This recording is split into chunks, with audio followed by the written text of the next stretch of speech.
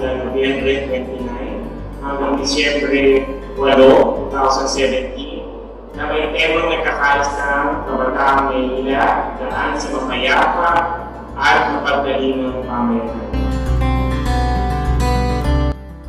May expectations sa batch na to. So, pinangalanan kasi namin yung batch na batch na sa Diwa, which is short for Isak Diwa. Dahil naniwala kami na ah, there is ah, unity in diversity. Kasi um, may iba't ibang klase ng bata dito eh.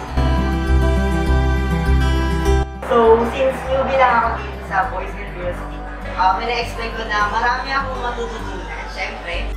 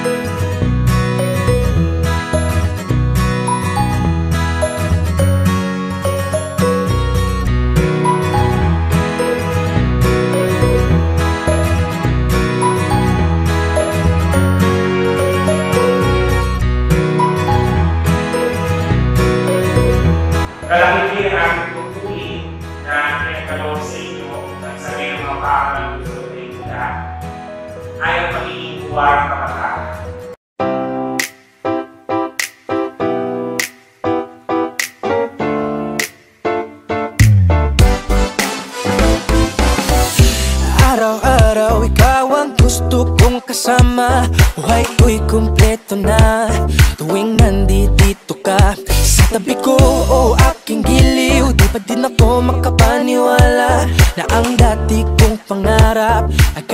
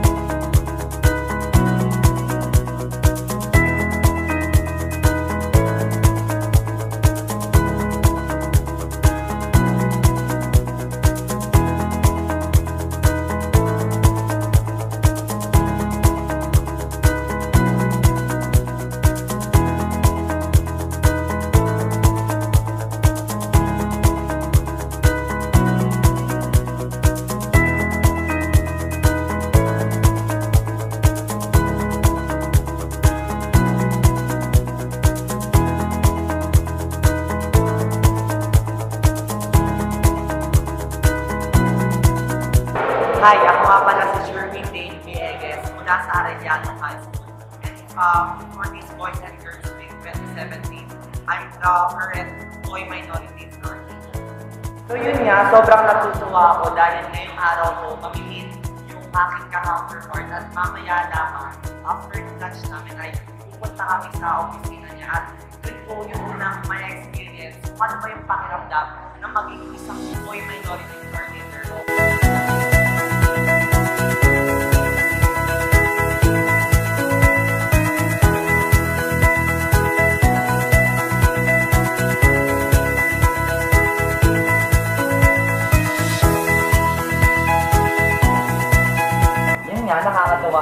Nandito na ako ngayon sa opisina ng aking counterpart na si Consular Rodolfo Lactamana. Hi, I'm Carmine Sibar. Pupunta na ako ngayon sa Manila Department of Social Welfare.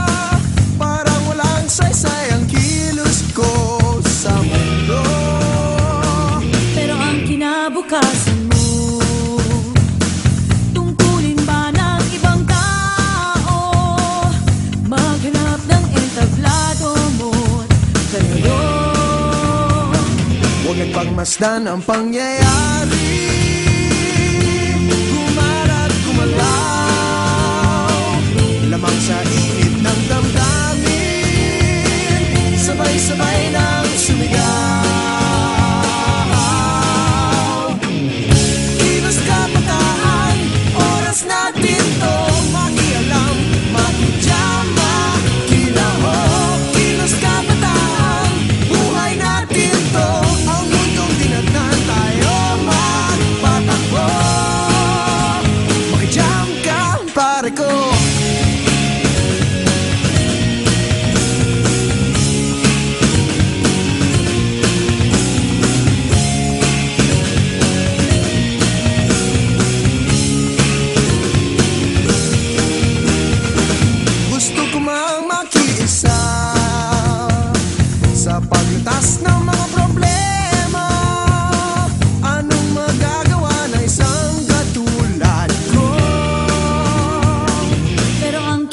kinabukasan mo Tungkulin ng ilang tao? Makibahagi sa bagahe ng mundo. Huwag nagpagmasdan ang pangyayari